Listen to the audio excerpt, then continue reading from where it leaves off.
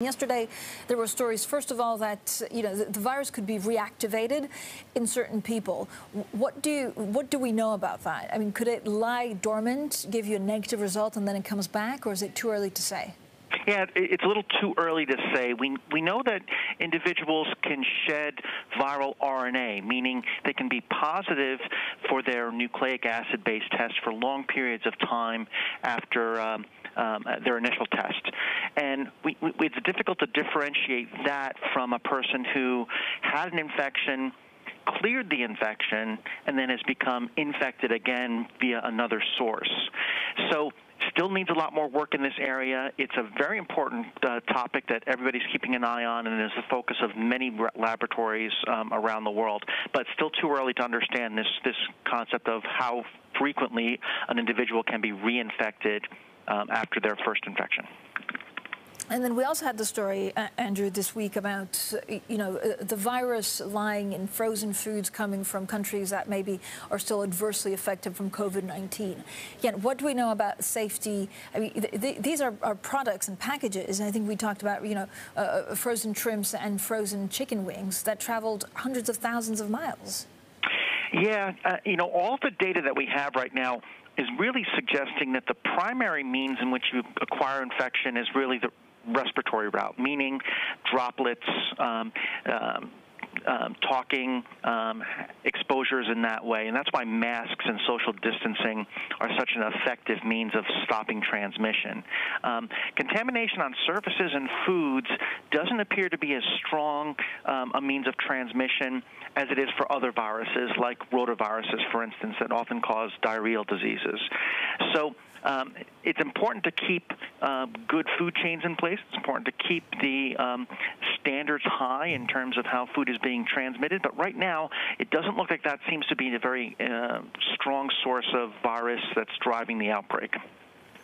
What is the right mask to use? I mean, we heard that mask with valves, valves, you know, are probably not the, the one that are recommended to be used.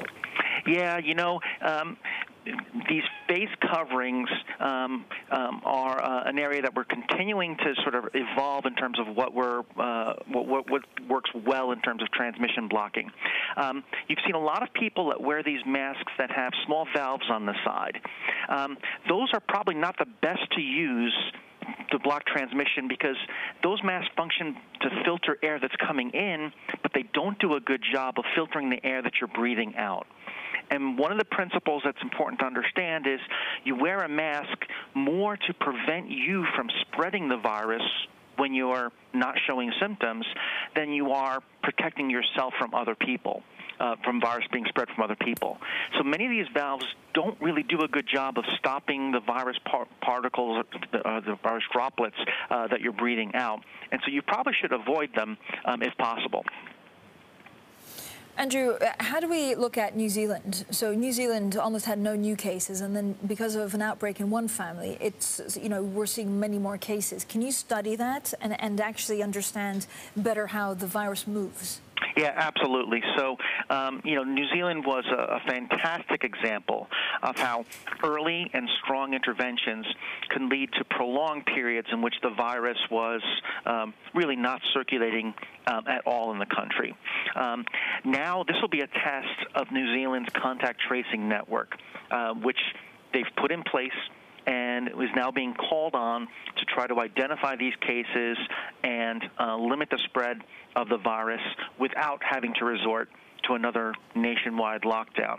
And this is really what we want to do. This is what we, we should be doing in all countries around the world, getting the virus level down and now using testing and contact tracing to be able to uh, keep these small pockets of infections more limited instead of being broad, uh, broadly um, um, spreading. So all eyes are on New Zealand now to see how their public health infrastructure is going to respond uh, to this uh, surge of cases.